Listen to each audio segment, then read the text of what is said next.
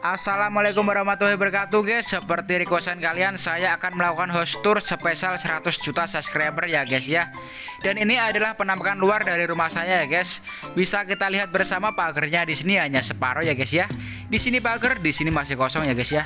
Tentu ini akan membah, mempi, membingungkan maling ya guys ya. Dan kita buka pagarnya walaupun kita bisa lewat samping tapi nggak apa-apa ya guys ya. Sebagai formalitas saja ya ngapain ada pagar kalau nggak digunakan ya guys ya? Dan setelah lewat pagar kita akan diberikan dua pilihan ya guys ya. Ada dua pintu di sini ada pintu bagian kanan dan pintu bagian kiri ya guys ya. Kalian mau lewat mana? Saya akan lewat pintu bagian kiri ya guys ya. Dan di sini pengait pintunya masih menggunakan bahan yang kuno ya guys ya. Nggak apa-apa ya guys ya. Dan ini adalah penampakan pertama dari bagian dalam rumah saya guys ya. Maaf di situ ada jemuran. Oke kita lewat pintu bagian kanan ya guys ya dan tentu saja kuncinya masih menggunakan kunci kuno ya guys ya. Ini adalah kunci ceklekan ya guys ya. Mudah dan praktis. Dan seperti inilah jika kita membuka pintu bagian kanan ya guys ya. Kita akan langsung tersambung ke ruang tamu. Dan di sini juga ada jemuran ya guys ya. Maaf ya guys ya karena ini belum kering jadi saya masukkan ke dalam. Oke, di sini ada kabel stop kontak yang menteralang jauh ya guys ya sampai ke ruang tamu.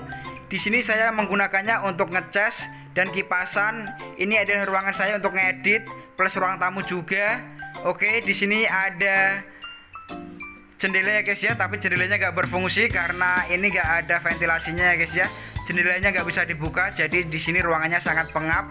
Kalau kita ngudu di sini, tentu asapnya akan menggumpal di dalam ya guys ya jadi sangat tidak worth it sekali ya guys ya untuk ngudut. Dan lucunya lagi ini gagang pintunya ya guys ya. Karena nggak seperti gagang pintu konvensional pada umumnya ini hanya berfungsi sebagai pendorong dan penarik pintu saja. Nggak bisa buat mengunci ya guys ya karena kuncinya ini masih menggunakan kunci kuno ceklekan tadi. Dan tentu saja kunci ini sangat tidak worth it sekali ya guys ya.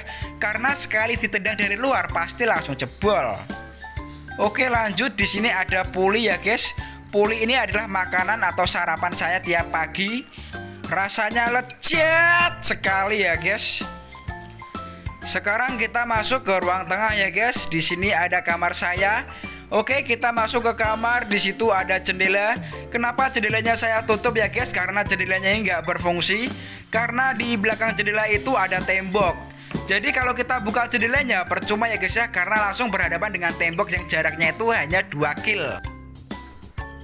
Dan kita langsung pindah ke ruangan selanjutnya ya guys ya.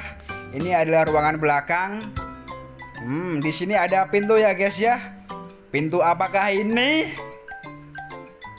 Sangat mencurigakan ya guys ya karena pintunya ini juga menggunakan ceklekan ya guys ya kuncinya sangat lucu sekali aduh malah ucul oke kita buka dan langsung tembus ke kamar orang tua ya guys ya. Ya tempatnya orang tua saja guys ya. Ini adalah ruangan kamarnya guys ya. Sangat unik sekali. Dari pintu ini kita langsung bisa menembus ke kamarnya. Tapi hanya bisa dibuka dari rumah saya guys ya. Oke lanjut. Dan di sini adalah kamar. Tapi belum menjadi ya guys ya. Di situ ada kusen. Nah, itu adalah kusen untuk pintu tadi ya guys ya. Bisa kita lihat di sini ada daun pintu tapi nggak ada kusennya ya guys ya. Ini benar-benar langsung pintu dikelopkan ke Kong Liong ya guys ya. Mantap sekali ini pendesainernya. Oke lanjut. Sekarang kita pindah ke bagian dapur ya guys ya. Dapurnya sama seperti dapur konvensional pada umumnya. Di sini ada pintu kita buka ini adalah ruangan apa ini guys ini adalah ruangan yang belum jadi oke okay?